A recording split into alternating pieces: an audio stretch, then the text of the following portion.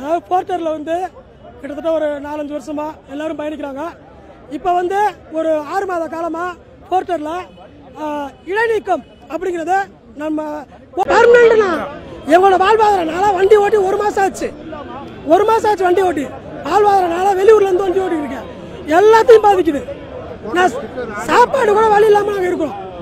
அந்த மாதிரிலாம் பண்ணுறாங்க போர்ட்டர் இல்லாம நம்ம வெளியில வண்டி ஓட்டக்கூடிய சூழ்நிலை இல்லை அதுக்கும் அதுக்கும் அதுக்கு செக் வச்சிட்டாங்க அவங்களே ஒரு ப்ரொமோட்டர்ஸ் நூறு ப்ரொமோட்டர் ரெடி பண்ணி கம்பெனி கம்பெனிக்கு போய் போர்ட்டலில் நீங்கள் வண்டி புக் பண்ணுங்க.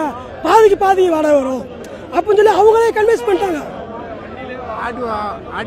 அதே மாதிரி ஆர்டிஓ ஃபைன் போட்டால் போர்டு வைக்கிறதுக்கு ஆர்டிஓ பத்தாயிரத்துலேருந்து இருபதாயிரம் வரை ஃபைன் போடுறாங்க. போர்ட்டர்னு போர்டு வைக்கிறதுக்கு அனுமதி இல்லை. அந்த அனுமதியை வாங்கி தர மாட்டாங்க.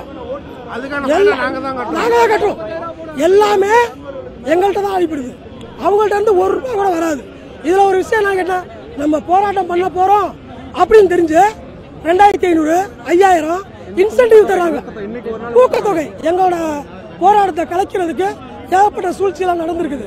இந்த போர்ட்டல் நிறுவனத்தை பொறுத்தவரை எங்களை கண்டிக்கிற ஒரே உரிமை இடைநீக்கத்தை சஸ்பெண்ட் பண்ணணும். கமிஷன் பிரச்சனை கிடையாதுங்க. எடுத்துகிட்டு போகிறாங்க வாடகை உயர்த்தி கொடுங்க. எங்களோட கோரிக்கை தான் சஸ்பெண்ட் பண்ணக்கூடாது. எதுக்கு சஸ்பெண்ட் பண்ணக்கூடாது விளம்பரம் போடு. எங்களுக்கு தேவையே இல்லை ஐயாயிரம் ரூபாய். ஐயாயிரம் ஆறாயிரம் ஆள் பொறுத்து ஏழாயிரம் வரைக்கும் கேட்குறாங்க வண்டிக்கு தகுந்த மாதிரி கேட்குறாங்க த்ரீ வீலர்ல இருந்து டூ வீலர்ல இருந்து பேசஞ்சர் ஆட்டோல இருந்து எல்லா வண்டியும் போர்ட்டர்ல இருக்கு. அப்புறம் நீங்க எதுக்கு நாங்க விளம்பரம் பண்ணணும்? எதுக்கு நாங்க பணம் தரணும்? சொல்லுங்க. ஃபோர் நாட் செவன் முறையும் போர்ட்டல் வச்சிருக்காங்க. இப்போ அதுவும் இல்லாம வண்டி சொந்தமா கூட இறக்கிருக்கேன்னு கேள்விப்பட்டிருக்கோம்.